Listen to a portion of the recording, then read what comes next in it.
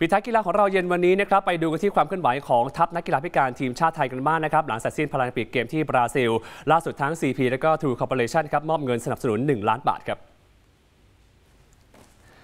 เครือเจริญโภคภัณฑ์ CP All และ True Corporation ครับจัดงาน Thank you the Hero ครับเลี้ยงต้อนรับนักกีฬาพาราลิมปิกไทย ชุดสร้างประวัติศาสตร์คว้า 6 เหรียญทอง 6 เหรียญเงิน และ 6 เหรียญทองแดงนะครับในศึกพาราลิมปิกเกมส์ 2016 ที่บราซิลเป็นเจ้าภาพนะครับเพื่อขอบคุณทุกแรงบันดาลใจ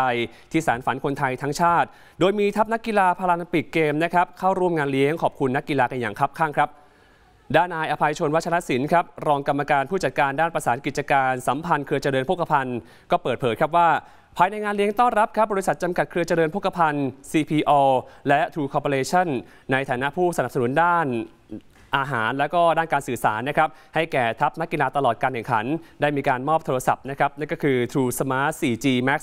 5.0 ให้แก่นักกีฬาทุกคนอีกด้วยครับ ในโอกาสนี้ทางเครือเจริญพกพันธ์นะครับ แล้วก็ True Corporation รวมถึงบริษัทในเครือเช่น CPO เราก็อยากจะมาแสดงความยินดีกับเหล่านักกีฬาครับ แล้วก็จะเป็นแรงบันดาลใจด้วยครับ ก็ต้องขอบคุณเพื่อนสื่อมวลชนนะครับที่มากัน นอกจากนี้นะครับยังได้มีการมอบเงินจำนวน 1 ล้านบาทนะครับสมทบทุนเข้าสู่มูลนิธิคณะกรรมการพาราลิมปิกแห่งประเทศไทยนะครับเพื่อพัฒนาและก็สนับสนุนนักกีฬาคนพิการทีมชาติไทย สู่ระดับสากล หรือว่าระดับโลกอย่างต่อเนื่องอีกด้วยนะครับ